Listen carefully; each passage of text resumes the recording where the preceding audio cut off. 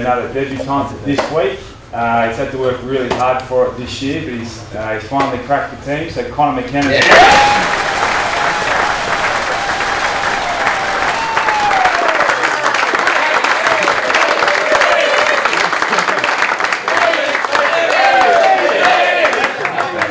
You probably worked with him the most. Anything you wanted to mention? Oh no, just I think it's a great reward for the hard work he's put in. He's obviously crammed a lot in in the time that he's been here. Um, he does more sessions than anyone else. He never misses a beat, um, so he's fully deserved. I know he's been a bit frustrated about getting the game, but it's finally happened, mate. So just enjoy it on the weekend.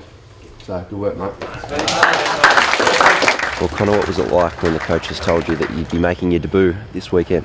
Uh, it was good. Uh, the coach took me in yesterday at about three o'clock after training. Just sort of core has been working all year, so he just said, "Congratulations, you're playing against Richmond this week." So it's just good, to, good to get it rolling. Aye.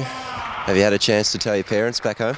Uh, I tell the parents yesterday, so they're flying out tomorrow night at leave at about five o'clock. So be here Thursday morning in the morning. So be good, be good to see them.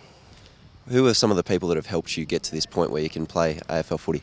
Uh, probably Paul Corrigan, Harry Corrigan the most. They've worked me the most. Uh, Paul Corrigan's worked me most year. Most year we do early sessions in the morning most days on a normally on a Tuesday and a Thursday, and they went in the forward, so Harry's helped me out there. So three quarters have been good to me. Over the last sort of 12 months or so, what's been the hardest thing to pick up about Aussie rules footy? Probably the structures, aye. It was defence was not too bad, but they went to forward, and the structures of the game was just hard to get used to. But hopefully get it right now, and come Saturday it'll come to plan. So What do you, does this change your plans for the future now that you're going to you know, play play your first game?